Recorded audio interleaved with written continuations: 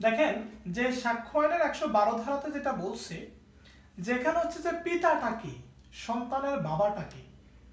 সে জায়গাতে বলছে, সাপোজ আমি হচ্ছে কাউকে বিয়ে করলাম।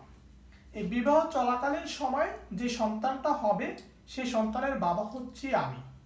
ঠিক আছে বিষয়টা?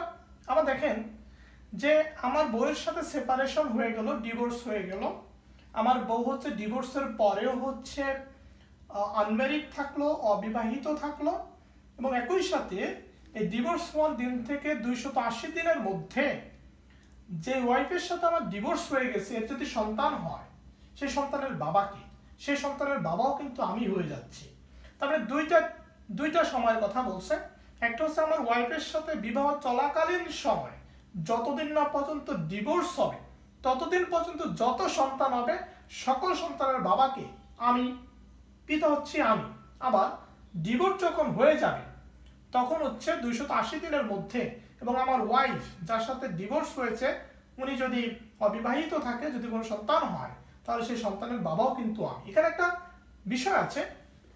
এটাকে বলছে কনক্লুসিভ প্রুফ এটাকে বলছে চূড়ান্ত প্রমাণ। এখন পিতৃত্ব নির্ধারণের ক্ষেত্রে এর চাইতে আর কোনো প্রমাণ হতে পারে না।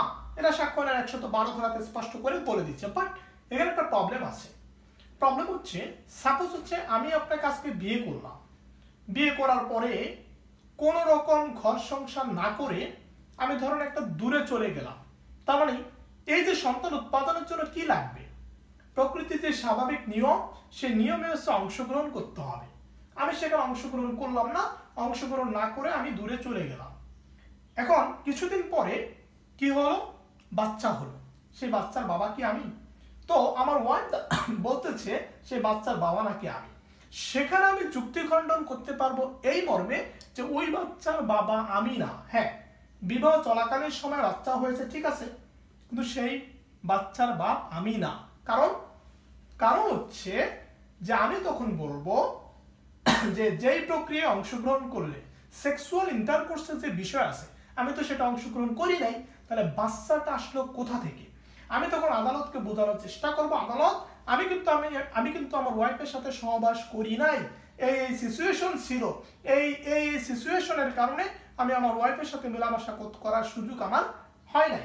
তার মানে দেখেন, এই যে আমরা বলতেছি চূড়ান্ত প্রমাণ, এবং এই চূড়ান্ত প্রমাণকেও কিন্তু খণ্ডন করার যুক্তি আছে একটা কারণ দেখিয়ে যে প্রকৃতির যে স্বাভাবিক নিয়ম যে স্বাভাবিক প্রক্রিয়া অংশগ্রহণ করলে বাচ্চা হতে পারত, আমি পিতা হিসেবে সেখানে অংশগ্রহণ করি নাই। তার মানে দেখেন, একশো বারো ধারাকে চূড়ান্ত প্রমাণ বলেছে যে পিতা নির্ণয়ের ক্ষেত্রে যে বিবাহ চলাকালীন সময় এবং দুইশো আশি দিনের যে ব্যাপারটা বলছে, এবং সেটাকে আমি যুক্তি খণ্ডন করতে পারব, সেটাকে খণ্ডন করার সুযোগ রয়েছে।